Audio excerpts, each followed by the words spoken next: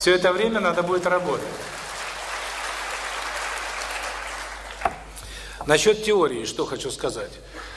Момент очень важный. Я все время смотрю, я должен осмотреть причину, почему у человека, э, скажем, не решается проблема. Отчасти это загруженность по роду идет, по прошлым жизням. Отчасти это непонимание каких-то моментов. Отчасти это просто недооценка того, что мы называем работой. Вот насчет непонимания. Я приведу. Я тут был, был семинар у меня, э, сказать, в Москве. И я там страшных вещей наговорил в конце. И сейчас стремительно хочу поправиться. Вот те, кто был на семинаре, сразу хочу сказать. Я там в конце сказал, что э, возраст можно себе задавать, что от нашего нашей эмоции выстраивает все. И если мы эту эмоцию держим, я эту тему начал в Питере, если полчаса вы э, эмоции любви держите непрерывно, то мир вокруг вас начинает меняться. Это очень важный момент. Так вот, можно держать потом ощущение, что у вас э, возраст меняется. И он должен в конце концов меняться. Я сказал, что вы можете себе сказать, я есть любовь, и мне 25 лет. Вот я так просматривал, сколько можно себе определить. Меньше 25 не стоит. Но я думаю, нормально. Так вот, 25-30 где-то в этом пределе. И вот тут мне говорит, позвонила, я звоню знакомой женщине, говорит, вот вы очень интересную фразу сказали на семинаре. Я любовь, и мне 25 лет. Можно пробовать? Я говорю, ни за что в жизни. Она говорит, как? Я говорю, вы, эта фраза жутко некорректная. Она говорит, извините, но вы же ее сказали. Я говорю, да, извините. А что я сказал? Вот так вы и сказали. И тут до меня доходит. Вот когда со стороны, тогда сразу же видно. Я говорю, смотрите, я есть любовь. Что это означает? Это означает, что наша душа вечна. Наша главная часть нашей души, она вечна, она божественна, она приходит в этот мир, и потом появляется уже наслоение вокруг нее. Э, сказать, поверх нее, скажем так. А когда я говорю, мне 25 лет, получается абсолютно нестыковка. То есть, с одной стороны, я вечность, а с другой стороны, мне 25 лет. Значит, что будет в результате? В лучшем случае погасятся обе. Что делать, что подсказать? Так вот. А я говорил телу? Ну вот видите, все-таки лектора уважаю тогда. Все-таки моему телу, а потому что она она сказала, и мне 25 лет. Я говорю, это это некорректно, потому что тут же идет, это к чему? К тому, что мы часто в молитве или просто, скажем так, внутренне выстраивая свое отношение к миру, допускаем какую-то малейшую нестыковку, и все, в лучшем случае информация блокируется. Так вот, это очень радует, видите, а, что все-таки я правильно выразился, то я думаю, надо срочно спасать э, человечество, которое получило неправильную информацию. А, теперь насчет э, восприятия. У меня был семинар в Израиле. А, я там, так сказать, описывал информацию. Я говорил, что я не стал говорить про слои души, потому что почему я сейчас сужаю свои выступления – Потому что э, я себе поставил цель, вот это началось еще лет 15 назад, что буду записывать выступления, ну для того просто, чтобы анализировать э, плюсы, минусы. Потом мне лень было анализировать, но я заметил, если записывается выступление, то мне не хочется повторяться. И каждый раз, когда вот эти камеры на меня смотрят, я думаю, повторюсь, не стыдно. И я каждый раз стараюсь э, хоть какой-то шаг небольшой вперед сделать, и это, с одной стороны, это плюс. С другой стороны, каждый шаг вперед – это углубление. А углубление исследований – это э, более, большая опасность. Потому что э, чем на более тонкий уровень выходишь, тем опаснее несовершенство. Включается чистка. Чистка включается автоматически. Причем я не знаю, я думаю, у каждого человека этот механизм работает. У меня всегда было повышенное чувство опасности – я всегда на опасность реагировал сразу, задолго до того, как я чувствовал другое. Думаю, это спасло мне жизнь, когда я стал этим заниматься. Многие целители серьезные погибают, потому что э, тут же берут на себя все или не не чувствуют, так сказать, подводных камней. Это меня не только спасло, это заставило меня как раз и больше уделить возможности диагностике, а не лечению. В конце концов, все лечение превратилось в диагностику и понимание. Так вот, а, я еще заметил, что меня спасает, э, я не знаю, откуда это идет, иногда со стороны судьбы, иногда из более тонких планов, но когда, скажем, вот, то, вот что у меня было, допустим, сейчас, за несколько дней, началось это в понедельник, э, боли в затылке, достаточно сильные, ситуация сразу, я чувствую, идет опасность. Я смотрю, в чем дело. Зрители уже концентрируются, сказать, то есть вы уже где-то в какой-то степени начинаете концентрироваться на важных моментах. А это моменты очень глубинные. Причем настолько глубинные, что я вот только-только их чувствую, эти слои души, там, скажем, до 14-15 колена. А, что дальше? Если эта ситуация продлится чуть дольше, то как бы пространство схлопывается, я на этих тонких планах концентрируюсь, забываясь о будущем. То есть чем выше организация, тем больше ответственность.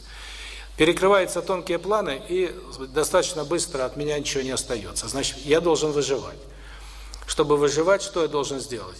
Мне нужна перетряска на этих 13 уровнях. Дестабилизация. И вот когда эта дестабилизация началась, вот тогда я понял, а, что как это выглядит. Объясню просто, а, скажем так, потому что вам всем все равно это придется проходить, чтобы вы знали.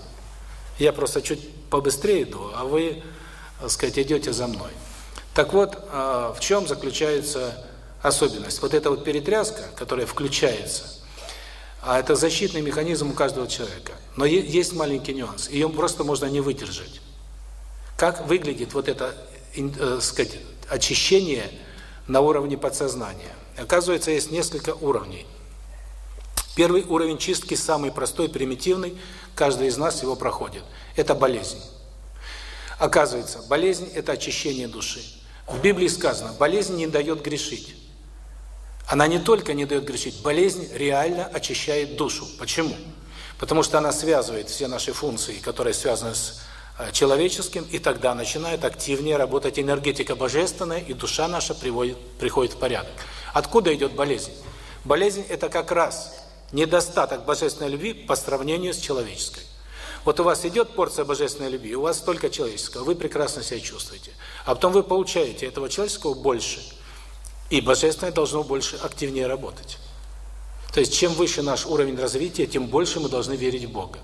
Я одной женщине недавно говорил, я говорю, вы женщина красивая, незаурядная, умная и волевая. И вы это, когда вам Бог дал гораздо больше, чем другим женщинам, вы это совершенно спокойно принимаете и считаете это естественным. Но чем больше ваш ум, воля и незаурядность, тем больше искушений концентрацию сделать на сознании, на благополучной судьбе, тем больше будет гордыня, ваши дети погибнут. Значит, у вас должна быть чище душа. Чем больше ваших способностей, чем талантливее вы, чем чище должна быть ваша душа.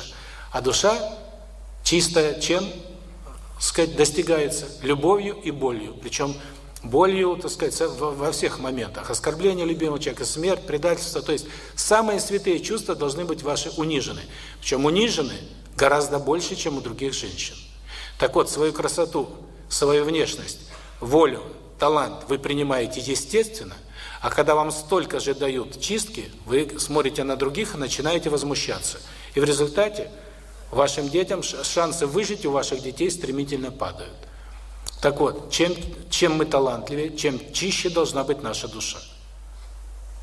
И нужно понимать, что э, сказать, очищение души – это самый мучительный процесс. Боль души гораздо тяжелее выдержать, чем боль тела или сознания. Это все понимают. И когда человек не может держать боль души, вот тогда уже она переходит на тело, и человек начинает заболевать. Итак, болезнь очищает нашу душу, наше Божественное Я. Это самый поверхностный уровень. Дальше какой уровень? Кто скажет? Неприятности по судьбе. Правильно. Это более тонкий план. Ситуация начинает валиться. Мы понимаем, дальше будет болезнь. Перед, перед этим нас предупреждают. Одна неприятность, другая, третья, четвертая, пятая. Это уже, значит, энергии у нас мало, процесс пошел. Перед этим обычно бывают неприятности у других. Вокруг нас с людьми начинают происходить проблемы. Это знак, скоро они будут происходить у нас. Это более глубинный уровень чистки. Под этим уровнем что лежит? Кто скажет? Правильно, обиды от близких людей. Когда идет опасная для жизни ситуация, то тогда близкие люди начинают обижать. Или кто-то предал, обидел. Если идет смертельная ситуация, то тогда чистка должна быть очень интенсивной, и тогда, как правило, именно близкие люди оскорбляют, обижают, не понимая, в чем дело, ситуация складывается и так далее, и так далее. Так вот, это уровень, э, сказать, достаточно сильной глубины, и он включается первым. Причем он не несет никаких физических моментов, это только боль души. Но его, как правило, практически 90% пройти не могут. Как же это так, меня предали? То есть сохранить любовь, сохранить э, моменты тепла в душе очень тяжело. Вот в этом плане я на семинаре говорил. Для того, чтобы пройти боль души, что нужно сделать? Вас оскорбил любимый человек. А, несколько пунктов, вот я для себя выписал. Для начала тема обид. Первое правило. Никогда не обижайтесь на мелочи. Почему? Потому что не, не надо себе, сказать, эти мелочи – это предупреждение о проблемах, во-первых. Во-вторых, если человек по мелочи вас обидел, то учитесь его воспитывать, учитесь реагировать на это, то есть энергию тратить не на обиды, а на воспитание. Итак, правило номер один – не обижайтесь на мелочи. И даже если человек явно что-то неправильно сделает, учитесь его воспитывать. Правило номер два – не обижайтесь на крупные моменты. Потому что в крупных моментах уже вы виноваты. Если вас очень по-крупному обидели, проблема уже в вас. Значит, начинайте тогда воспитывать уже не другого, начинайте воспитывать себя. Потому что у вас серьезные проблемы, если вас крупно обидели. Вы, во-первых, могли это допустить, ввели в искушение, а во-вторых, значит, если нет видимых причин, значит, внутри вы уже спровоцировали своим состоянием. Значит, у вас очень неважно, это знак. Начинайте работать над собой. Так вот, Обида от близкого человека – это очень серьезный знак о нашем неблагополучии, о нехватке любви в душе. Как простить любимого человека, который вас обидел? Первое правило – сохранить любовь к нему. Любовь и сострадание рядом ходят. Жалость. Так вот, нужно пожалеть близкого человека, который вас обидел. Если вы его жалеете, тогда вы сохраните любовь. Правило первое – пожалеть его, что он сделал такую подлость по отношению к вам. Второе – поставить себя на его место. Тогда легче будет понять. Единство сохраните, потому что любовь и единство практически идентичны. Если вы ставите себя на его место, у вас уже нет барьера. Дальше. Попытаться его оправдать. Третий пункт. Четвертый пункт. Попытаться обвинить себя. Что это вот я сделал такого? Пятый пункт. Начинать воспитывать его и себя. То есть, когда вы уже любовь сохранили, уже можно дальше вести диалог. Я исследовал, а, какое чувство, одно из самых опасных а, в плане а, потери любви. Чувство, которое разрушает любовь, и мы даже этого не понимаем. Вот назовите мне это чувство. Уныния нет. Уныние, понимаете, мы его фиксируем, и мы, а это неприятно. Все, что неприятно, мы от этого пытаемся избавиться. Уныние очень глубоко проникает. Оно опасно. Но есть чувство, которое, а, которое как бы дает ощущение удовольствия, и поэтому, э, сказать, мы отказываемся от любви, даже не понимая, насколько это чувство опасно. Какое? Правильно. Надменность, правильно, превосходство. Почему? Дело в том, что любовь – это символ абсолютного единства. Бог есть любовь. Это означает, вся Вселенная единое целое. Бог все, что Бог создает, тоже единое. И сейчас ученые доказывают, что вся Вселенная абсолютно едина на тонком плане. То есть скорости, с которыми связываются объекты во Вселенной, а, абсолютны. То есть, говоря простым языком, скорости просто нет. Идет мгновенный э, контакт главных объектов, любых объектов во Вселенной на определенном информационном уровне. То есть Вселенная продолжает быть единым, э, единым образованием, единым живым существом. Поэтому, как только мы ощущаем превосходство над кем-то, это означает, уже мы единство порвали. Мы уже выше, он ниже. Дальше идет распад любви и все остальное. Поэтому один из самых сильных одна из самых сильных опасностей, которые сейчас нас могут постерегать, это ощущение превосходства, над, особенно нравственного превосходства, над, над людьми. Национальность, человек, государство, кто угодно. Если это чувство в нас есть, любовь остановилась. Все, она не проходит. Так вот, есть пока три уровня защиты. Болезнь, неприятности, обида от близкого человека. Еще один уровень чистки назовите мне. Более глубины. Хороший уровень, способ, но мы говорим пока еще, до него мы не добрались. Но предательство от близких, мы это проходили. Это все, все это то же самое. Смертельная болезнь, все равно это физический уровень. Ощущение смерти, оно очищает. Но мы сейчас говорим, э, старение неплохой момент. Проблемы с детьми, э, но это, э, сказать, то, что называется, э, когда любимый человек оскорбил, унизил, умер, когда ребенок заболел, вот эта вся тема. Старение тема хорошая, но это в принципе та же вот то, которое я говорю, третий уровень, но более, скажем так, еще более тонкого плана.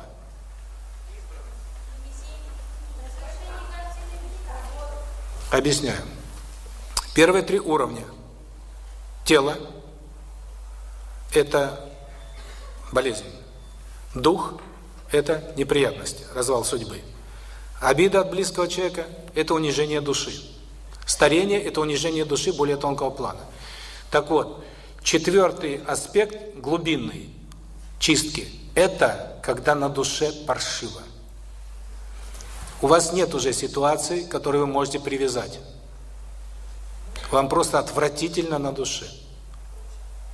Так вот, у меня в последнее время вот это чувство выплывало, и я тут же пытался под него подтянуть ситуацию. Да, старею, да, скоро помирать, да, одно, да, другое, что я увлекаюсь. А потом я понял, это наш естественный механизм, под чувство мы ищем ситуацию. Так вот, после этого я вывел формулу. Как, если вы, когда у вас на душе гадко, а, в этот момент понимаете, что идет самая первая чистка, но не одна из самых первых, если вы ее преодолеете, то дальше близкий человек не оскорбит, не обидит, не предаст. По судьбе будет все шикарно, здоровье железное. Представляете, сколько радости вы должны параллельно испытывать, когда вам на душе гадко. И все. Ура! И вот тогда я понял, чем хуже на душе, тем больше радости одновременно, тем более счастливыми мы должны быть. Потому что это на самом деле великолепный механизм очищения. Поэтому чем хуже, тем, тем гаже на душе, тем, сказать, радуйтесь больше. И в этот момент что нужно делать? Молиться, сохранять любовь, принимать божественную волю. Главные аспекты что? Что такое гадко на душе? Пошла чистка очень тонкого плана. Что такое чистка? Это отрыв от наших высших чувств, которые обнимают и соединяют нас со Вселенной. Значит, если в момент разрушения всего, э, сказать, чувственного э, мира то есть созданного Богом, мы сохраняем любовь к Богу, принимаем Его волю, устремляемся к Нему. Все, очищение произошло. Так вот, а, я вспомнил, как я себя вел, когда было на душе гадко. Оказывается, мы совершенно не привыкли к этому величайшему акту очищения души, когда на душе отвратительно. Мы что делаем? Мы либо обижаемся на весь мир – либо пытаемся эту грязь перенести, обвинив всех. Тогда легче. Привязал к объекту, я понял, почему на душе гадко, мне сосед не отдал долг. Вот оно откуда идет. Или мы начинаем пить, или есть, или впадаем в депрессию.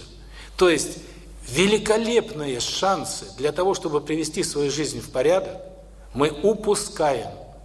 К чему я это говорю? К тому, что сейчас начинается, я просто смотрю по энергетике, начинается раскачка мира. А, то, что мы называем кризисом, это пустяк. Я говорю, не так страшен кризис, как его малюют. Но это пустяк снаружи. А внутри идет бешеная перетряска, страх потерять, разрушение и прочее. И это идет не в масштабах одного человека, а в масштабах планеты. Первый раз. В масштабах всей планеты. И идет резонанс. резонанс идет очень серьезный. Поэтому мы сейчас через неправильное отношение к возможной потере всего, мы стремительно, особенно западные страны, стремительно начинаем прирастать. Значит, дальше будет чистка. Вот механизм. Кстати, пока не забыл. Вчера а, по телевизору говорили, что Германия отказалась от генетически модифицированных продуктов. А я еще в интернете прочитал. Думаю, я все время видел только плохое. Я везде видел распад. Я у себя на сайте поместил. Компания Monsanto. Все, раковая опухоль, которая уничтожает все человечество. И я думал, что они уже всех купили, подкупили, продали, сказать, убивают тех, кто сопротивляется. То есть идет истребление. Главная цель этой компании – продавать зерна, которые не проращиваются. Тогда все будут у нее покупать. Я говорил, что скоро детей будем у этой компании покупать, потому что мы будем, поев этих зерен, будем бесплодны. Только вот купим ли мы детей в этой компании? А сейчас они хотят только продавать зерно, которое не дает потомства. Но еще раз хочу сказать, все, что мы едим, оказывается, отражается в наших генах сразу же. Я об этом говорил в предыдущих выступлениях на семинарах. Сначала это проскальзывает в интернете, потом в газетах. Обычно через 20-30 лет политики с ужасом понимают, что это произошло. Сейчас этот процесс идет, оказывается, быстрее. Германия запре э, решила запретить ГМ-продукты. До этого отказалась Греция, Австрия, кажется, еще несколько стран. Самое интересное, выступает представитель компании Monsanto. Это американская фирма, но вы знаете, откуда все проблемы идут. Естественно, из Америки. Это лидер, так сказать, материализма, лидер, э, сказать, капиталистического сознания, которое, в принципе, э, уничтожит человечество в ближайшие 10-20 лет, если не будет, э, сказать, создано правильное мышление. Вот о правильном мышлении мы сейчас еще будем говорить. Так вот, я смотрю человека по телевизору, представитель компании Monsanto, который говорит, мы делаем все, чтобы добиться распространения, ну, классический вариант, раковая клетка заявляет, мы делаем все, чтобы, так сказать, весь организм полностью нашпиговать нашей продукцией. Я начинаю диагностировать его поле. И знаете, что я увидел? Смерть больших групп людей. То есть этот человек связан с тенденцией после которой будут погибать большие группы людей. В первую очередь Америка, Южная Америка, Европа, э, часть Африки, э, Восток. Самое интересное, России я там не увидел. Вот это радует. Значит, все-таки, вот сейчас смотришь газеты и прочее, очень много проблем. Воровства на самом высоком уровне. Идет блокирование, э, сказать, возможности России, душится все. И э, причем душится очень профессионально. Объясню, в чем дело. Вот я говорил, объявлял на сайте э, государство такое, которое основало четыре столпа счастья. Забыл, как называется? Бутан. А, никто, уехавший из Бутана на учение, так сказать, не остается за. Все возвращаются, все счастливы. Почему? Четыре столпа счастья. То есть Руководство страны объявило, что живут они не для того, чтобы деньги зарабатывать и тратить, а для того, чтобы быть счастливыми. Итак, первое правило – правильная экология. Второе – правильная экономика. Третье – правильная пропаганда национального образа жизни. И четвертое – правильное управление. Вот в переводе, я об этом говорил на семинаре, еще хочу повторить здесь. Я начал переводить это на язык моих исследований. И выяснилась очень любопытная картина. Правильная экология – это защита тела. Правильная экономика – это защита, так сказать, э, перспектив, это защита духа. Экономика, политика – все это вместе. Правильная пропаганда национального образа жизни – это защита души. И правильное управление – это сочетание этих трех факторов. Так вот, для того, чтобы наша страна выжила, должна быть программа по спасению и по развитию страны, которая включает в первую очередь спасение чего? Души. А душа – это нравственность, это вера, это защита, э, сказать, нашей души и по телевидению, и в, э, сказать, э, в поведении чиновников, и в суде. В суде должны защищаться не, э, сказать, в первую очередь вопросы души, а потом уже вопросы денег. Во всем мире сейчас все, все связано с деньгами. Вот если возникнет концепция, которая люди поймут, что все-таки душа важнее, вот тогда государство начнет оживать и будет спасено. Почему?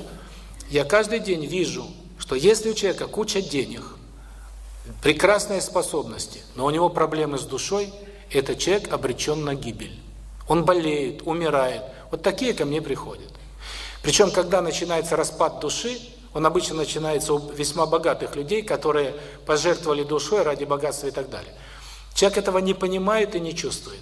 Сначала идет распад души, потом искажение мировоззрения, а потом уже начинается распад всех уровней, вплоть до физического. Физический в конце, когда уже трудно что-то сделать. Так вот, для того, чтобы спасти человека от тяжелейшего заболевания, я был вынужден выходить на понятие душа и говорить, если вы свою душу не спасете, не приведете ее в порядок, бесполезно, сказать, что-то делать остальное. Так вот, приведу пример. В Израиле провел семинар. Мне звонит женщина. Знакомая просит, у женщины сын хочет покончить жизнь самоубийством после семинара. Ну, я говорю, ну хорошо. Вот она, она все понимает, она книги читала, хотела хотя бы одну фразу услышать.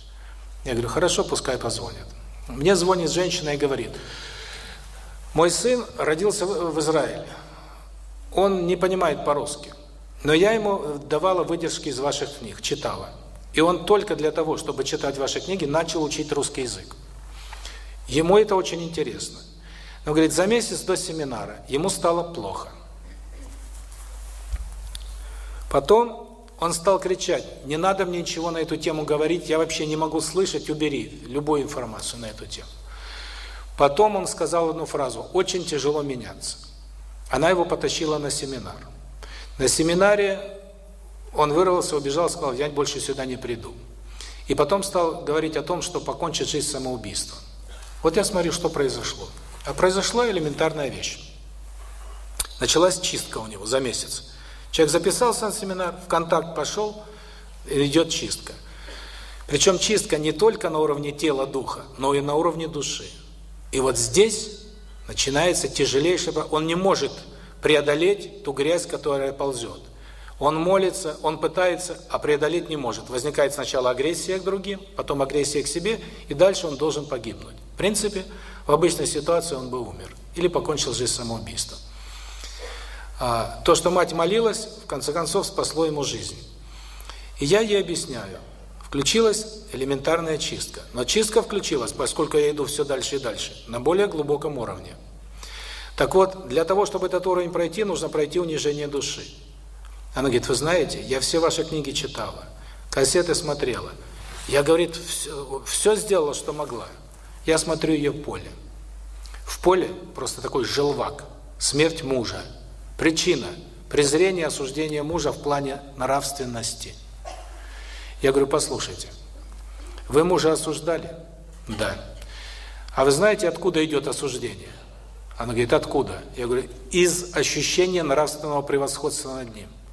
Для того, чтобы вы родили ребенка, вам нужно унизить человеческое во всех аспектах. Даже самые святые высокие чувства должны быть унижены, а вы должны сохранить божественную любовь и увидеть в этом божественную волю. Если вы божественную волю увидите, вы человека простите. Если вы ее не увидите, вы никогда не сможете человека простить.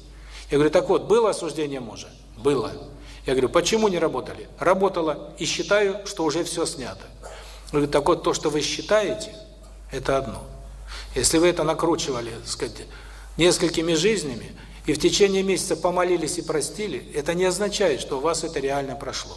Так вот, нужно пройти эти ситуации, проходить до тех пор, пока не возникнет ощущение легкости, радости и любви при любой, так сказать, прошлой обиде от мужа. Раз. Второе. Когда вы этого состояния достигли, молитесь за детей и внуков, чтобы они сохраняли любовь, когда их лечат, оби, а, сказать, унижением души. Когда унижены самые святые чувства, чтобы любовь к Богу сохранилась. И вот тогда пойдет результат. Так вот, я понял, ошибка многих людей в том, что они... Ну, в принципе, это не ошибка. Мы привыкли. Две тысячи лет, несколько тысяч лет нам религия говорила, помолился, грехи снялись. Совершил ритуал, грехи снялись. И человек, естественно, думает, тут я за один раз в церкви грехи с меня снимаются, а тут я должен пахать три месяца и не снимаются. Ну что за дела? То есть это стереотип. На самом деле, снятие греха адекватно нашему глубинному изменению. Если мы не меняемся, ничего не меняется. Кстати, сегодня, когда ехал сюда, думаю, презентация информационная, надо выйти и сказать, дорогие товарищи, сегодня по случаю презентации все зацепки с вас снимаются. Вся зависимость уходит. Все поле засияло, все прекрасно. Думаю, Но все равно неправда, но приятно. Но я скажу, а потом я подумал, а ведь если человек вот где-то внутренне поверил, что да, вот освободился он, и это чувство держит, значит процесс пойдет. Поэтому, если у вас возникает ощущение, что вы любовь, но если вы любовь держите, э, единство с Творцом повышается, тогда вы можете совершенно спокойно начинать испытывать ощущение, что у вас уходят все ваши зацепки вместе с обидами, сожалениями, страхами и так далее. Если же вот это э, единство с Творцом и любовь не повышается, то лучше, сказать, себя иллюзиями не строить. Так вот, к чему э, возвращаемся к этой теме. Тема очень серьезная, потому что э, многие без диагностики считают, помолился, простил, принял ситуацию и все нормально. Я хочу сказать, что сначала мы приводим в порядок э, себя, и потом, конечно, если мы приведем себя на очень глубинном уровне, то дети автоматически чистятся. Но я хочу сказать, что пока я могу сказать только одно. Привели себя в порядок, раз уж накрутили. Молитесь, чтобы ваши дети и внуки научились любить, научились видеть божественную волю, научились сохранять любовь тогда, когда идет очищение не только тела, но души. И вот тогда начнутся изменения. То есть не впадайте в иллюзию, что вы простили, вы помолились, вы сняли претензии, и вы уже чисты. Почему я еще раз на этом останавливаюсь? Потому что в ближайшее время, если начнется реальная чистка, потому что идет сейчас очень быстрая загрузка, э, сказать, потому что люди неправильно, люди на самом деле псевдоверующие. Вера людей определяется их желанием что-то у Бога получить. И все молитвы – это выпрашивание. И с, с такой верой человек в критической ситуации только обижается и унывает. Значит, идет загрузка, и если чистка включится автоматически в планетарном масштабе, но делаем вывод. Поэтому очень важно э, понять, первое, что если у вас гадко на душе, значит у вас есть великолепный шанс, который нельзя терять. Нужно молиться, отрешаться, принимать божественную волю, концентрироваться на любви. И если вы открываетесь в этот момент Творцу, все, начинается великолепный позитивный процесс. Но я еще не, сказать, не, не дошел до конца. Итак, я назвал четыре уровня защиты – как вы считаете, пятый есть и как он выглядит? Пятый есть? Как он выглядит? Чего?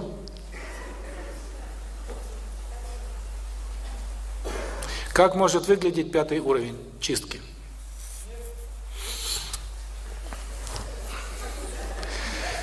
Смерть – это последний, это первый, нулевой, так сказать.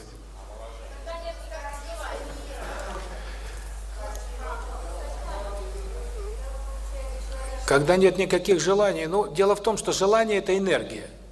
Когда у вас э, вдруг исчезает желание, в принципе, это один из косвенных моментов того, что где-то пошла перетряска, и любви не хватает, и вы не проходите ситуацию. В принципе, то, что сейчас называют э, синдромом хронической усталости, это та тема. Это как раз внутреннее э, постепенное угасание любви в душе, потому что душа не туда направлена. Душа не может пройти чистки. Ну, скажу, э, пятый уровень выглядит очень просто. Мы вообще его не замечаем. То есть, когда он включается, мы даже не понимаем, что идет очищение, а уже начинаются проблемы. Тогда вопрос, что делать? А ответ может быть только один. На таком уровне пройти ситуацию может только тот человек, который уже не смотрит, что там вокруг происходит а у которого интенсивность любви достаточно высокая для того, чтобы в автоматическом режиме пройти этот уровень. И тогда возникает вопрос, как выйти на такой уровень интенсивности любви, чтобы самое начало чистки пройти, когда мы даже не можем почувствовать ее. Знаете, какой ответ? Вот смотрите, когда у вас умирает близкий человек, что вы испытываете?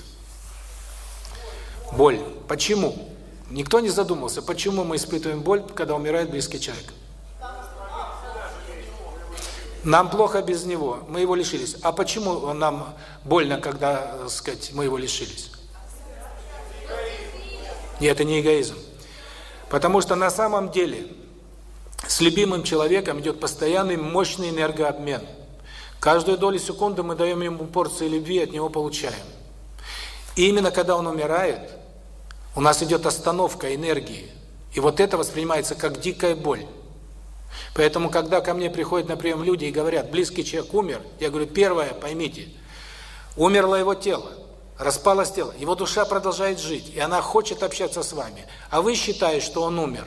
Останавливаете энергию, поэтому вы мучаетесь. Поэтому первое, что нужно понять, он не умер, его душа продолжает жить в другом, э, сказать, способе существования. Раньше говорили, Бог прибрал к себе. Это означает, человек никуда не умер. Он переместился в другую сферу, его Бог к себе прибрал. Сейчас говорят, умер дорогой товарищ, и в слезы. Все, умер. Зачем тогда с ним общаться, когда он умер? И вот этот материализм дает дикую боль, потому что это остановка любви в душе, а дальше идет программа распада. Вот и весь механизм.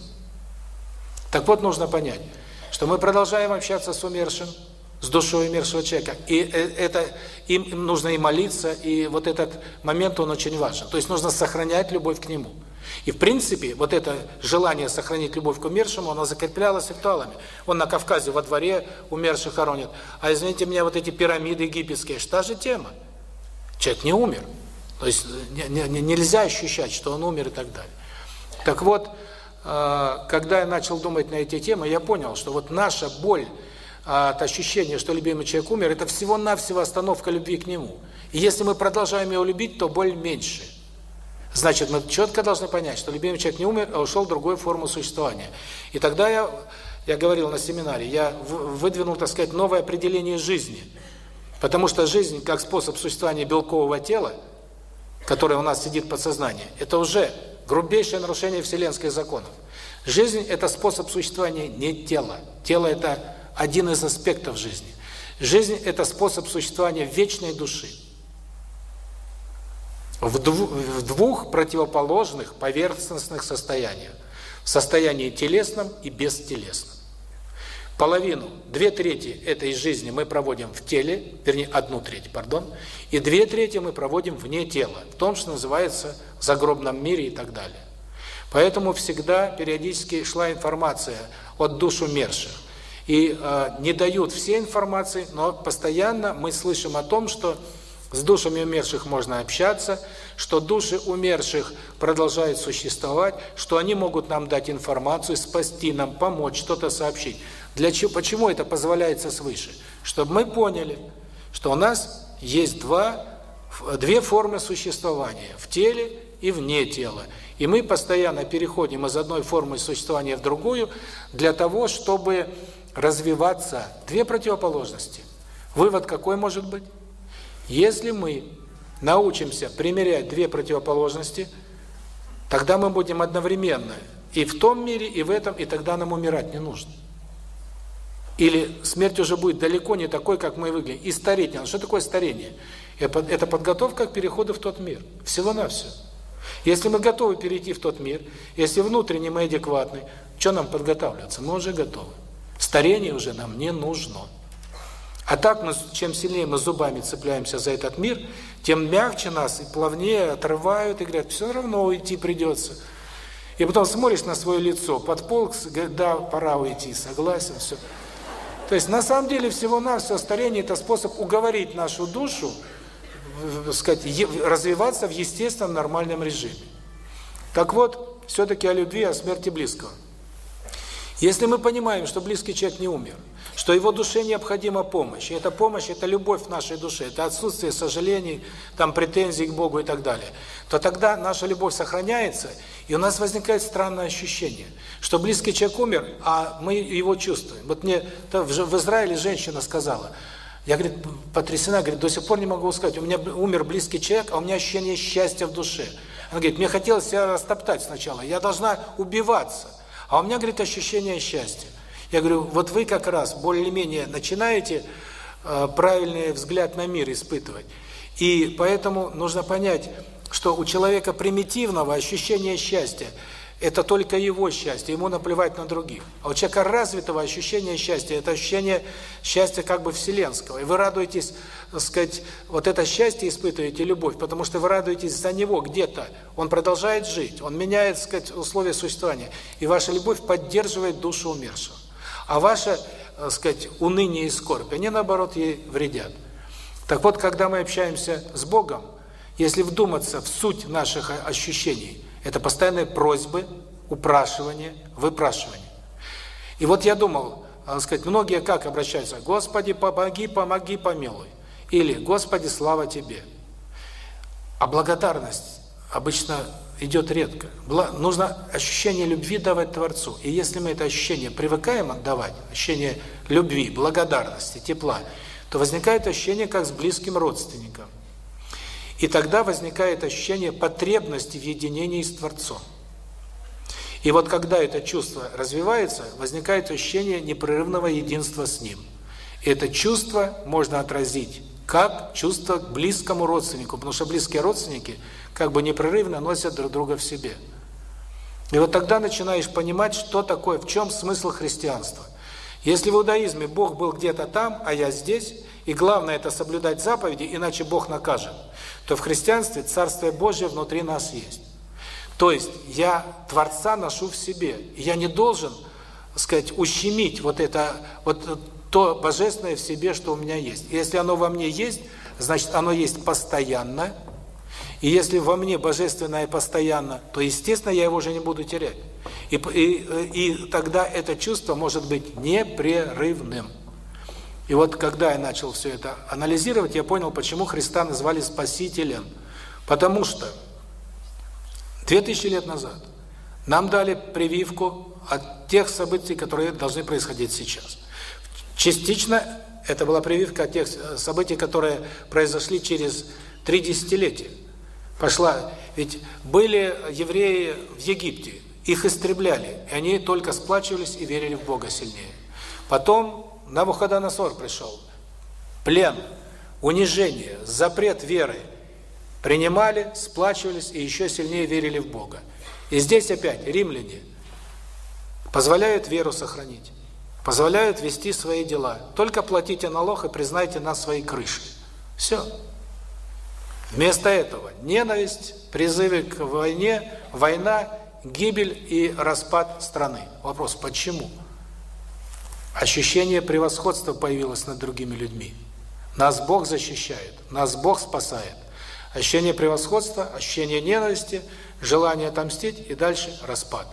Так вот, для того, чтобы это ощущение превосходства победить, нужно непрерывное ощущение любви. Это потому что в любви нет людей, которые различаются. Так вот, в иудаизме, в конце концов, рано или поздно 10 заповедей должны были выйти на первую, а первая «возлюби Бога превыше всего» работает только в одном условии – при непрерывном ощущении любви в себе. И вот через христианство эту информацию дали. Так вот, судя по всему, пока я, сказать, это модель, если начнется чистка на том уровне, вот, который я сейчас замечаю, то про, про, пройти эту ситуацию без самоуничтожения может только человек, у которого чувство любви в душе непрерывно, у которого э, потребность в любви как потребность в воздухе. То есть вот ощущение постоянного недостатка любви в душе, и человек к ней стремится. Вот на этом уровне можно давать любую чистку, любую божественную энергию, она пройдет, так сказать, при соответственной чистке, и тогда может раскрыться новое будущее. Если эта энергия божественная не пройдет, тогда есть несколько вариантов. Либо она останавливается, и мы медленно умираем, либо она все-таки идет, включается чистка, и мы умираем быстро. Все. Всего-навсего.